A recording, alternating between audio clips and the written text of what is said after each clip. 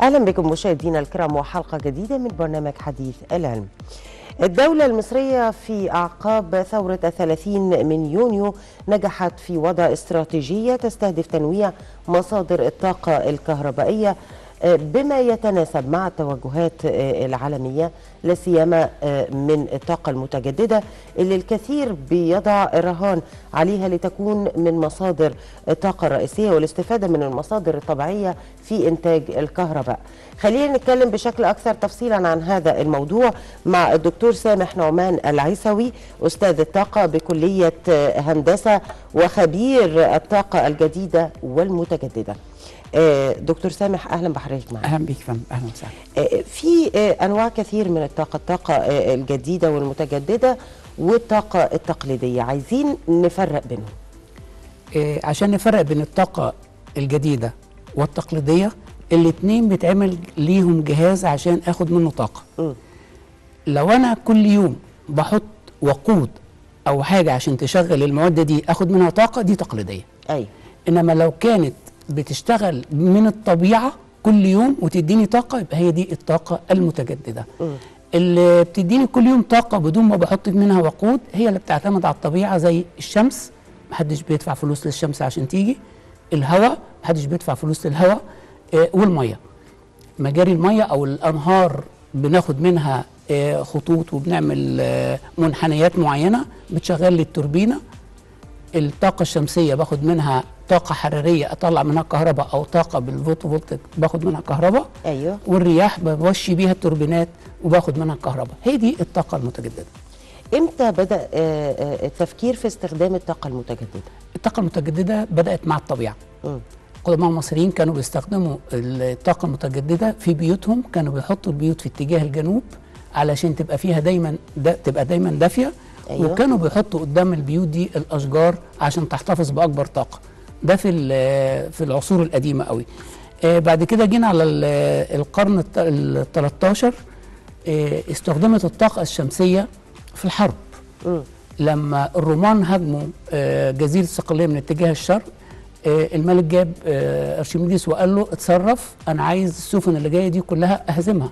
أيوه. قال له اديني اعمل لي مرايه على على الشط وأنا بس مراية مقعرة وهنركزها على السفن على مسافة معينة. م. وفعلا عمل المرايا وخلى الش... في وجود الشمس ركزها على السفن حرق كل السفن اللي كانت داخلة. أيوه أدي ده في الحرب. آه حضرتك استخدموها في تحلية المية م. واللي استخدمها الكيميائيين العرب أيوه في القرن ال16 اخذوا مساحة حوالي 4700 متر مربع وكانوا بيطلعوا 22700 لتر مية محلاه في اليوم والمكان ده قعد 40 سنة م. ونفس الطريقة بيستخدموها الدول بتستخدمها الدول النامية اللي في أفريقيا وما شابه ذلك إنها بتاخد المية وتحطها في قنينة وتخلي الشمس تركز عليها يطلع بخار مية ياخدوا من الجنب الثاني مية محلاه مية نقية يعني أيوة. استغ... أول محطه توليد طاقة من الشمس على مستوى العالم م. اتعملت في مصر م. اتعملت في مصر سنة 1911 اللي عملها واحد اسمه مارك ده أمريكي استخدم أربعة أطراف أربعة أطراف يعني إيه؟ أربع منحنيات بها... آسف خمسة أطراف خمسة بهذا الشكل. م. الخمسة دول المسافة بين كل واحدة والتانية سبعة متر. أي. طول الواحدة 62 متر وعرضها 4 متر. طلع منها طاقة كهربائية. من حد... في حدود من 60 ل 70 حصان. م. كان بيطلع 60 ألف جالون مية من النيل عشان يروي بيها الأراضي الزراعية والقطن بالذات. وبعدين جه في 1916 لما دخلت الحرب العالمية الأولى وبدأ البترول يطلع بقى أرخص من التكلفة بتاع الطاقة الشمسية قال لنيوز تايم كده كتب مقالة قال إن اجلا أو عاجلا هنرجع لاستخدام الطاقة الشمسية وبالأخص لما ينضب البترول اللي أنتم بتشتغلوا عليه. ادي بالنسبة للزراعة في أوروبا كانوا بيحطوا الأشجار بتاعت الفاكهة قصيرة. فلما كانت الأشجار دي بتحتاج طاقة كبيرة بدأوا يعملوا أشجار عالية جدا تتعرض للفترة الزمنية بتاعه الشمس فبتختزن بطاقة. وبعدين بدل ما خلوها بقت الأشجار العموديه بقى يزرعوها بالميل فكانت بتكتسب أكبر كم من الطاقة وبتشتغل بيها. أيوة. حضرتك كمان الصوب الزراعية دي برضو في القرن 16 لما الملك الرومان كان عايز يخلي عنده الخيار طول السنة عمل الصوب الزراعية وزرعوا له مخصوص الخيار داخل الصوب الزراعية. الحاجة بقى اللي اللي اللي هي استخدامها شائع إن أنا بستخدم الحرارة بتاع الطاقة الشمسية دي بستخدمها في حاجة اسمها الطباخ الشمسي. أيوة. الطباخ الشمسي ده أنا أقدر أعمل عليه الأكل وأقدر أعمل عليه القهوة والشاي وأقدر أعمل عليه الحفلات اللي هي الباربيكيو في الطرق الخارجية. طيب أنواع الطاقة المتجددة بشكل عام؟ الطاقة المتجددة إحنا زي ما قلنا بتعتمد على الطبيعة. أيوة. فعندي منها الشمسية والشمسية عندي منها نوعين. يا إما حرارية يا إما فوتوفولتيك. الاثنين دول باخدهم من الشمسية. الرياح اللي هي نتيجة دوران ال- الهواء بيدور مروحة معينة. أيوة. المروحة بتعمل لي توليد طاقة باخد الطاقة أنقلها للمكان اللي أنا عايزه. الحاجة الثالثة من المية. المية يا إما مجاري م- أو أنهار طبيعية. آه، المجرى المائي ده بحط قدامه بزوايا معينة توربينات. المية تدور التوربينه اخد منها كهرباء ولكن بعمل أحيانا آه، مجاري مائية أو أو أنفاق مائية بولد بيها زي اللي موجودة في عتاقه وديت موجود منها آه، إحنا على فكرة الدولة الرابعة على مستوى العالم اللي بتستخدم هذا الكلام في عتاقه فهم دول الثلاث حاجات اللي أنا بستخدم بيهم. أفضل الأماكن اللي موجودة في, مصر اللي بنقدر نولد منها الطاقة بشكل عام؟ الطاقة الطاقة المتجددة. آه عندي السد العالي وعلى النيل في في سد أسيوط. دول أيوة. أنا باخد دول دول طبيعية. الصناعية من المجاري المائية أو الأنهار المائية في جبل عتاقة باخد منها 2.4 جيجا. إن أنا بسحب المية من تحت بطلعها فوق. المية اللي هي بتاعت الصرف بعد التنقية بطلعها فوق الجبل. وبعدين بنزلها في ممر رأسي على ارتفاع حوالي 800 متر. بيدور التوربينات بيدور 8 توربينات. كل توربينه 300 ميجا. باخد منها طاقة. دي آه. بالنسبة للمية. الشمسية كل جمهوريه مصر العربية الحمد لله صالحة إن أنا آخد منها طاقة شمسية. الرياح عندي حاجتين يا إما جبل الزيت لأن سرعه الرياح عندها 15 متر في حدود 15 متر في الثانية. ودي لمدة ثلاث شهور في السنة آه على التوربينات القديمة. آه. التوربينات الحديثة جمهوريه مصر العربية كلها تصلح لطاقة الرياح طول السنة. يعني إحنا عندنا آه، مناخ آه، آه، رائع. رائع لتوليد آه، المتجددة. المتجددة. تمام. ولكن دكتور سامح إيه الفرق بين يعني الفرق العملي والفرق العلمي في أنواع الطاقة المتجددة سواء الطاقة الشمسية أو طاقة الرياح أو تمام. تخزين الطاقة بشكل عام؟ تمام. ال- الفرق العملي إنه الطاقة دي من الشمس مثلا أقدر أستخدمها فين؟ وإزاي؟ الطاقه الشمسيه أقدر أستخدمها على آه، مستوى صغير يعني أقدر انور آه، بيها إضاءة لمبة واقدر آه، مزرعة وأقدر أنور بيها بيت أيوة. في أماكن مستقلة لحد ما أعمل بيها مشروع كبير استراتيجي. طاقة الرياح اللي إحنا بننتجها إحنا بننتج أقل حاجة واحد ميجا فما ينفعش إن أنا أستخدمها البيت لازم تكون لمنطقة. ولازم تكون لها ده, ده بالنسبة للتطبيق العملي. التطبيق العملي للتخزين أنا عندي التخزين يا إما بخزن فيه بطاريات وده الاستخدام الصغير برضو إيه، لأن إحنا عندنا استخدام آه، اللي هو المستوى الصغير والمستوى الكبير أيوة. فالبطاريات أنا بستخدمها على المستوى الصغير إنما لما بدخل على المستوى الكبير أستخدم يا إما بطاريات حيز كبير أو بستخدم التكنولوجيا الجديدة اللي هي الأبراج الطوبية. الأبراج الطوبية بتخزن عندي من 18 ميجا لحد لحد 35 ميجا. إنما البطاريات البطارية الواحدة بتديني 2 كيلو أو 10 كيلو أو حسب ما أنا عايز. إنما ما أيوة. أقدرش أستخدم الأبراج كده. العلمي بقى إن أنا أستخدم المناخ ده عشان آخد منه أقصى طاقة ممكنة في الوقت الم- المصرح ليا. أيوة. لما ندخل على الطاقة الشمسية عندي نوعين. النوع اللي هو الكلاسيكال أو اللي هو العالم كله بيستخدمه الألواح الطاقة الشمسية. آه اللي هي المعتادة بت- بتديني آه أقصى طاقة لما تكون الشمس عمودية على اللوحة. في طبعا إحنا عندنا آه، آه، المناخ. مساعدنا جدا على كويس. جدا. ولكن لو الشمس بدأت تتغير بعيد عن الألواح الطاقة بتاعتها بتقل. الجديد منها إن الألواح الجديدة لا تعتمد إن الشمس تكون عمودية الشمس بأي زاوية لو موجود أي ضوء باخد منها طاقة ودي الأحدث منها. ده الجزء العلمي. آه نيجي للرياح. الرياح عندي التوربينة اللي هي ثلاثة ريشه زي اللي موجودة على الزعفرانة وما شابه ذلك.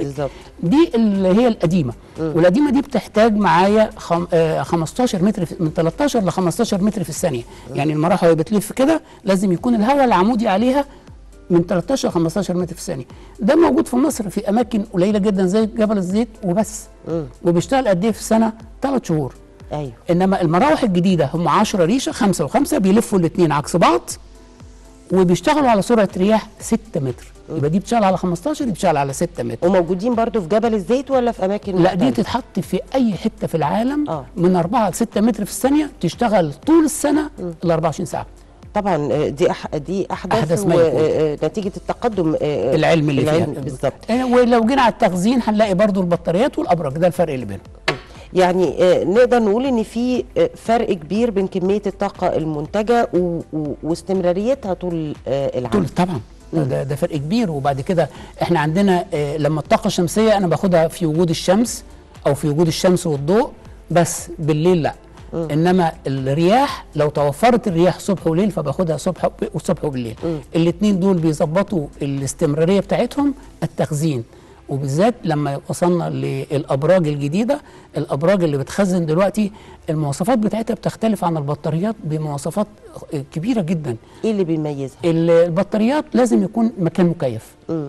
الأبراج تشتغل في الحرارة لحد درجة 70 درجة مئوية. آه. آه، سعر البطاريات غالي جدا. دي سعرها رخيص يعني الكيلو فيها بيع 300 دولار لمدة 30 سنة. يعني 10 دولار في السنة لو قسمناهم على الساعة يبقى 10 دولار على 8760 ساعة. ده سعر الكيلو وات سواء تخزين أو تفريغ. آه. آه، حضرتك ال- التصنيع هنا بحتاج مواد كيماوية هنا ما بحتاجش مواد كيماوية. البطاريات لازم تكون لو دخلت الجبل لها آه، مواصفات خاصة في في, الاستخدام إنما التانية حضرتك آه، اي كان كأن حاطين طوبة في الجبل آه. فشغالة. طبعا أبسط. دي ميزة مهمة جدا. ميزات كتير مهمة. والسعر رخيص قوي قوي عن البطاريات. آه. طب آه، لو اتكلمنا دكتور سامح عن المشروعات المصرية في مجال توليد الطاقة آه، الشمسية. آه، عندنا إحنا عندنا اكبر محطة طاقة شمسية على مستوى الشرق الأوسط. أيوه. طاقة بم... محطة بنبان. آه. محطة بنبان بتدينا دلوقتي حوالي واحد وستة من عشرة جيجا. آه اتعملت ما شاء الله بسرعة. ال 1.6 من عشرة جيجا دي دي المح... ال- المحطة الأولى على مستوى الشرق الأوسط وعلى آه، الدول العربية والمنطقة بالكامل. أيوة. فدي طبعا حاجة كويسة. آه، دلوقتي في آه، استعدادات لأن هم بيعملوا محطة تانية قريبة منها. إحنا لو بصينا للج- للجدوى الاقتصادية بتاعتها إن هي بتوفر لنا ال- الغاز اللي إحنا بنستخدمه علشان نطلع الواحد وستة من عشرة دول الغاز ده لو إحنا استخدمناه في المواد البتروكيماويات سعره بيضيف خم... آه، بيبقى تسع أضعاف. مم. فده دي منها جدوى اقصى غير ان هو آه، نظيفة ما بيدينيش تلوث للجو إن أنا بقدر أستخدم الغاز اللي أنا هستخدمه في توليد نفس الكمية من الطاقة بقدر أستخدمه في في مواد البتروكيماويات وأطلع منه حاجة كبيرة. آه، آه، م- يعني لو استخدام الطاقة المتجددة بيعتبر أهم آه، خاصة في مجال استخدامها في المنازل. آه في المنازل إيه، إحنا عندنا في المنازل اللي بي اللي بيستخدمها بطريقة علمية صحيحة في المنازل لو داخل المدينة آه. داخل المدينة ممكن تبقى المنازل عبارة عن تجارة للكهرباء مع الحكومة. لأن أنا لو حطيت محطات طاقة شمسية عندي في في البيت واستخدمت الجدول هو في جدول لاستخدامي في البيت إمتى أستخدم الم- المكوى إمتى أستخدم الغسالة وإمتى أستخدم التلفزيونات. كل حاجة دي بيبقى لها آه، آه، جدول مخصوص. أيوة. لو استخدمتها كده صح وحطيت محطة طاقة جديدة ومتجدده أو طاقة شمسية عندي في البيت الوقت اللي أنا مش موجود فيه في البيت والطاقة بتيجي بت- بديها للدولة وباخد منها فلوس. فأنا بتبقى هنا ميزة مشتركة. لو بالليل هاخد الكهرباء من الحكومة. طب وفي النهار لو أنا مش موجود هدي الكهرباء للحكومة. آخر الشهر في مقصة. أيوة. أنا خدت قد إيه واخدت منهم قد إيه وبيبقى في مقصة بين الاثنين ثانيا الطاقة الشمسية لما أقدر أحط على المنازل على سور البيت لو أنا عندي فيلا بالكامل بدون ما أوصل كهرباء وبدون ما أحط محطة طاقة شمسية. لأن اللمبة دلوقتي معاها لوح طاقة شمسية صغير وبطارية صغيرة. فطالما موجودة على السور هي الصبح بتشحن البطارية وبالليل بتشتغل أوتوماتيك. أيوة. فإذا بوفر إن أنا أعمل توصيل عليها. لو أنا عندي جنينة كبيرة بتحط الجنينة فيها زي ما بحط ال- اللمبات الإضاءة اللي على السور بتحط داخل الجنينة آه، على الري. فالمحطات دي صغيرة. ما بحطش بقى محطات كبيرة ولا آه. اشتراك كبير. الحاجات الصغيره دي بتوقيت بتايمرز بترتيب معين. في توقيتات معينة هي. ترش الجنينة وتقفل لوحدها أوتوماتيك ولا بوصل لها كهرباء ولا أي حاجة. طيب لو آه، آه، لم- لو شخص حب يفكر في استخدام الطاقة آه، آه، المت- المتجددة آه، في شقته مثلا لأي وحدة سكنية إيه هي إيه المتطلبات اللي هيحتاجها؟ آه، المتطلبات اولا لازم يعرف الاستهلاك الفعلي بتاعه في قلب الشقة. أيوه. يعني بيستخدم قد إيه كام كيلو وات في الساعة طول اليوم. وبعدين بيتعمل له جدول الجدول ده بيمشي عليه. بمعنى إيه؟ إن وقت الوقت اللي بيشتغل فيه الغسالة الوقت اللي بيشتغل فيه المكوى الوقت توقيتات التلفزيون كل ده بيتحط في الأول لحد ما أحسب هو محتاج قد إيه. طالما حددت الاحتياج بتاعه وبديله الجدول يبقى لازم يكون ماشي معايا سليم. اللي جوه المنزل ده لو أنا في في المدينة يختلف عن إن أنا أكون في الجبل. آه. اللي في المدينة أنا عندي آه، الكهرباء احتياطي إن أنا باخدها من الدولة. أيوه. فإذا هيبقى عندي backup أو عندي حاجة تقدر تساعدني لو حصل شورت أو حصل ت- آه، نقص في حاجة معينة. فبالتالي بعملها بعمل له الحساب بتاعه آه، بالمساعدة بتاعة الدولة. لازم يكون عنده المكان المتوفر لأن أنا أحط عليه ألواح الطاقة الشمسية في البيت. لأن هي ليها زاوية معينة والزاوية دي ممكن تبقى فوق السطح بس في عمارة تانية قدامه فالعماره دي هتقفل عليه فلازم يكون في المناخ لأن أنا أحط الألواح الطاقة الشمسية دي أيوة. مناسب وصح. آه ثانيا هي هتبقى عنده المشكلة في التكلفة مم. إحنا قلنا قبل كده إن الدولة لازم في الحاجات دي تدعم كل ما هو مشاريع طاقة جديدة ومتجددة لأن الدولة بتكسب أكتر ما بيكسب إزاي. نذلل الع- ال- العقبات آه، آه، اللي ممكن آه، أو الصعاب اللي ممكن تقف قدامه لإتمام هذا التنفيذ التنفيذ التنفيذ لو كان فني اللي هو زي ما بنقول المكان بتاعه غير مناسب يبقى هل هو يقدر يحط في مكان تاني أو يحط على الأرض أو يعني حسب الاري حسب المساحة اللي هو بيشتغل عليها أيوة. دي لازم يختار لها نختار لها المكان. آه، ده بالنسبة ل- ده الجزء الفني مم. آه، الجزء المالي اللي هو زي ما قلنا لحضرتك إن هي في التكلفة هي في الأول التكلفة غالية شوية. أيوة. ولكن على مدى ال 20 سنة الكيلو في ال 10 سنين أو في الثمان سنين من 8 ل 10 الكيلو بيقف عليه ب 2 سنت بالكتير 2 سنت. بعد ال 10 سنين بيقف عليه كيلو الكهرباء ببلاش. يعني بعد 10 سنين هنقول إن هو بيستخدم الكهرباء وما بيدفعش فلوس. أيوه. ده طيب مين اللي بيكسب في الحالتين؟ اللي بيكسب المواطن والدولة بتكسب لأن أنا بوفر كهرباء للدولة. يبقى اذا من الدولة المفروض بتفتح لي القروض لأن القرض ده قرض زي اللي بيدي سيارة وبيدي أي حاجة تانية. ولكن ده امن من السيارة لأن هو بعد خمس ست سنين زي ما هو المشروع. بعد عشر سنين زي ما هو ما حصلوش يعني الدلي أو النقص اللي فيه نسبة 4 5% حاجة بسيطة. مش زي العربية اللي بتستهلك. آه. فاذا يبقى الدولة لازم تفتح هذا الدعم وبسرعه وبدون فايدة لأن أنا بكسب لأن أنا لما بوفر للدولة كهرباء أنا بوفر غاز وبوفر محطات بوفر كابلات نقل بوفر حاجات كتير للدولة. أيوة. يبقى اذا أنا بدعم المواطن هو نفسه هو بيكسب وفي نفس الوقت الدولة بتكسب. يبقى لازم يكون في تيسير للفلوس اللي بتعمل هذا المشروع. آه، آه، آه، عايزين نتكلم عن أهم التحديات اللي بتواجه استخدام الطاقة المتجددة وإحلالها بمصادر الطاقة التقليدية. التقليدية. إحنا عندنا لو لو إحنا استخدمنا الطاقة الجديدة والمتجددة إحنا إحنا في صراع مع مع التكنولوجيا. أدي واحد. اتنين في صراع مع رأس المال اللي بيفتح اللي بيفتح هذه المشاريع. آه، ثالثا الأماكن أو المساحات اللي إحنا بناخدها. أيوة. المساحات إحنا عندنا مساحات متوفرة. مم. والحمد لله دلوقتي في توجيهات بأن المناطق الصناعية الجديدة لازم تبقى مدعمة بمحطات طاقة شمسية. فده شيء كويس جدا. إنما هنا بقى نرجع. هل هنديها لمستثمر ولا هنديها للدولة تعملها؟ لو أنا أعطيتها للدولة فالدولة هي اللي هتدفع. الدولة عليها عبء. طب أيوة. لو أعطيتها للمستثمر هيتبيعها لي. فهيبيعها لي على الأقل بضعف السعر. آه. يعني لو أنا أعطيتها للدولة هتقف تكلفتها على الدولة حوالي لو على ال 20 سنة هقف سنت كيلو بسنت. إنما لو على 10 سنين تقف عليها ب 2 سنت. طب لو أعطيتها المستثمر عمر المستثمر ما يديهاني أقل من 4 5 سنت. مم. فهي بقى هنا بتبقى فيها توازن. هل أنا عايز أخلي الكهرباء تطلع للمست... لل... للمستخدم أو للمصانع رخيصة يبقى لازم الدولة تتحمل شوية. لو أنا عايز أفتح استثمار وجهات تشتغل فيها يبقى هعرف إنها تطلع على الايه على المس... على المستخدم غالية شوية. آه. التكنولوجيا لازم لازم أواكب أحدث تطور في الطاقة المتجددة لأنها ما شاء الله عليها فيها تطور سريع وإن ما يكونش فيه تطور بشكل آه، مت... يعني سريع. سريع, جدا ولازم يبقى فيه ملاحقة. ومواكبة لهذه والجديد اللي. يتعمل ما يتعملش. بالقديم يتعمل بالجديد. آه لازم يكون في اصطف زي ما إحنا بنعمل مع الطلبة يتعلموا ما هو جديد. آه. ولازم يدخلوا ومعظم المشاريع توجه في هذا الكلام. مم. لازم أوجه الطاقه الجديدة في كل المشاريع اللي بتتعمل ايا كان هذا المشروع حتى لو مشروع طبي. أيوه. لأن هو ده اللي جاي. ولازم يكون في نوع من آه، التدريب بشكل مستمر للعاملين في هذا المجال تحديدا. آه، لو إحنا فتحنا هذا المجال هيبقى الناس فيها بتتعامل فيه ب... اولا في الأول بيبقى ضعيف وبعد كده الخبرات الخبرات بتتنقل. لما بتتنقل بتبقى دايما لازم يبقى فيها كفاءة عالية لازم يبقى فيها تقدم. يعني إحنا نتمنى آه، في الفترة اللي جاية يكون آه، آه، آه، الطاقة المتجددة هي المعممة آه، في الاستخدام بشكل كبير جدا في مصر. لأن زي ما حضرتك قلت وزي ما إحنا عارفين إن آه، آه، مصر بيئة صالحة جدا ومناخ صالح.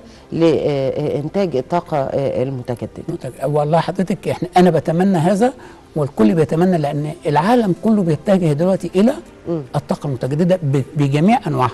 يعني حضرتك لما بنتكلم لأن على فيها مميزات كتير آه، أولها أنها موفرة. كل لا والبيئة. آه. بتدي حفاظ. على البيئة بشكل قوي جدا. وبعدين الحمد لله إحنا عملنا أول محطة في الشرق الأوسط في بنبان أول محطة طاقة آه، رياح من المية في عتا في جبل عتاقه دي تعتبر الرابعة على العالم والأولى على منطقة الشرق الأوسط والدول العربية. آه. فإحنا الحمد لله في تقدم بس إحنا عايزين دايما يبقى up to date أو مع التطور اللي موجود على طول. وحتى في التخزين إحنا بنسعى لهذا الكلام.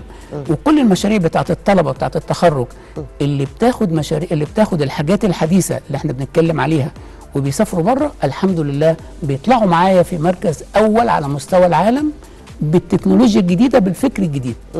لأنه بيمت- بي- بي- بيتكلموا بمين؟ طلبة لسه ثانوية عامة أو لسه في أول الجامعة. لما بيتكلموا عليه وهم فاهمين وبإدراك عالي الحمد لله ربنا بيوفق وبيطلعوا من الأوائل على طول. طيب الحمد, الحمد لله. رب العالمين. إحنا بنتمنى لكم التوفيق في الفترة اللي جاية وبنتمنى للطلبة آه، اللي بيشتغلوا في هذا المجال إن هم يقدروا يقدموا لنا كل ما هو جديد مواكب للتكنولوجيا الحديثة المستخدمة في كل دول العالم. إن شاء الله بإذن الله. في نهاية حلقتنا بنشكر حضرتك الدكتور سامح نعمان العسيوي أستاذ الطاقة آه، بكلية هندسة وخبير الطاقة الجديدة والمتجددة. شرفتنا على شاشة النيل تحت أمر حضرتك أنت أمري. مشاهدينا انتهت هذه الحلقة من برنامج حديث العلم الأسبوع القادم. حلقة جديدة. إلى اللقاء.